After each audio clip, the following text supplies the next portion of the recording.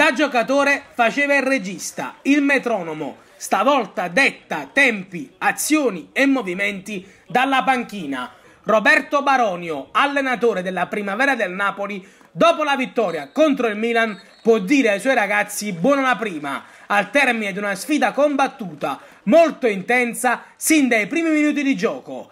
Al terzo, la prima occasione è del Milan. Verticalizzazione di Barazzetta per Tonin. Decisiva la deviazione di D'Andrea che manda il pallone sul palo.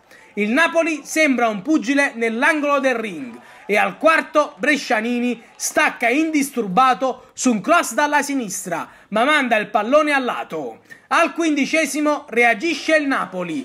Triangolazione tra Palmieri e Sgarbi, che premia l'inserimento sulla destra di Mezzoni, ma la sua conclusione sul primo palo finisce al lato.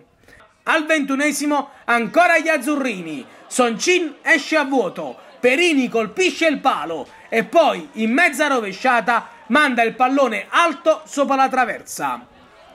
Al ventisettesimo Sgarbi difende bene il possesso del pallone, scarica su Zanoli che dalla sinistra trova Palmieri in area di rigore. L'attaccante azzurro ci arriva con la punta del piede, Soncin soppone e respinge la conclusione. Al 45 e ancora duello Palmieri-Soncin. Il portiere del Milan ferma in uscita l'attaccante azzurro su una sponda di Gaetano. Nella ripresa il Milan reclama per un presunto fallo di mano di Perini. Il contatto con il pallone c'è, ma il braccio è attaccato al corpo e l'arbitro decide di lasciar correre. Al 59 il Napoli passa in vantaggio.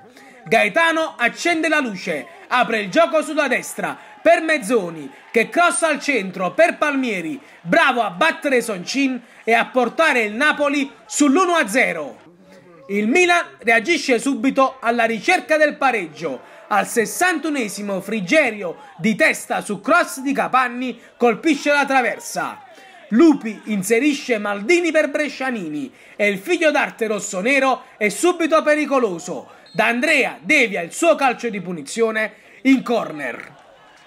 Baronio inserisce forze fresche. Dopo Vracas al posto di Gaetano entrano Zedadka e Negro per Palmieri e Mezzoni, mentre il Milan rinforza il peso offensivo.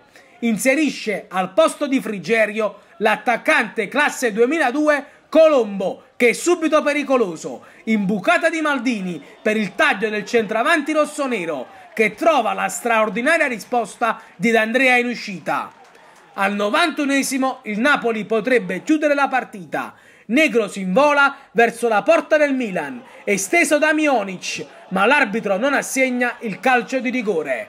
Finisce 1-0 al Diagnello di Frattamaggiore. I ragazzi di Baronio possono festeggiare con il pubblico e pensare già al prossimo impegno. Martedì a Belgrado inizia l'avventura in Youth League contro la Stella Rossa.